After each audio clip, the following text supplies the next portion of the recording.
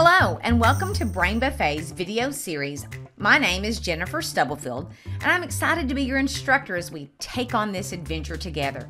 Folks, we have so much to cover, and I'm determined to cover it very thoroughly because I don't want you to miss anything that might help you be more productive.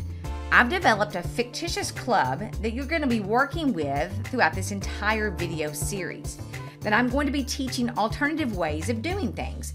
I may show you how to do it one way, let's say in Project 2, but a totally different way in Project 6.